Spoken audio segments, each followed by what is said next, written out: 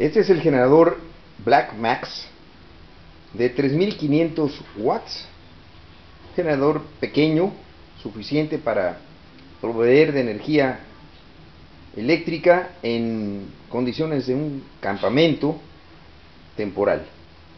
Importante recurso de Deportes del Manatí, ya completamente restaurado y listo para entrar en acción.